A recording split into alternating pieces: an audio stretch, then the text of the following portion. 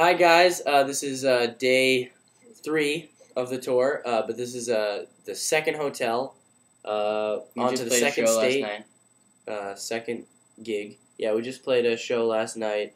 Uh, thank you guys for coming out. Uh, we had an amazing audience. They knew every word to the song. Me piano was awesome. Yeah, we had a opening act named uh, Piano, and she was great. She did a cool Radiohead cover, and she had a lot of good songs herself. And so we decided to bring her on to our next show, which is going to be in uh, West Chester, Pennsylvania, not to at a be place called the Note. Not Westchester, New York. yeah, not to be confused. If you go to Westchester, we won't be there. so don't do that. Yeah, don't don't go to Westchester. Go to Westchester. Go to Win. to tell you the truth, we have not slept in 48 hours. We've been going. I haven't slept. We did a show. We did a rate. We did a morning show, and then uh, the show last night. Then we drove five hours, and then we got up after like maybe an hour of sleeping to do another morning show. And that we've was just very been out of lost. sequence. We just driving. went backwards. We just went backwards. We did. We did. Oh, oh, I see what you're saying. Yeah, Yeah. we did a morning show. You're right. You're Well, right. he's so tired he can't keep track of anything, but he still needs to correct me.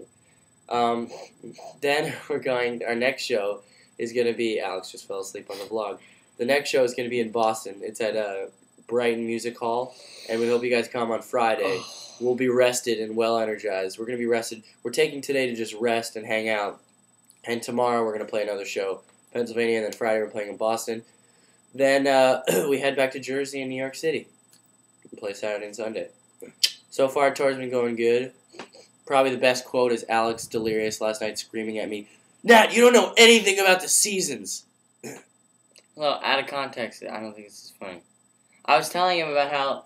Well, I don't, I don't really remember. I was very, very out of it. But I was telling how. I said more people who. Like when the Earth is. Like farther away from the sun. When, when it's shadows. This isn't any better because I'm still tired. When there's like shadows and there's no sun, people are more depressed on that side. And I said, when you say when the Earth, there are more shad do you mean winter? And he goes, Nat, you don't know anything about the seasons. And then we both just giggled for like 20 minutes. It's true. Uh,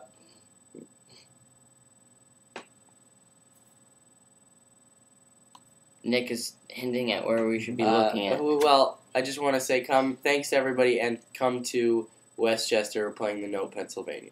So, but We love you. We, we do love you.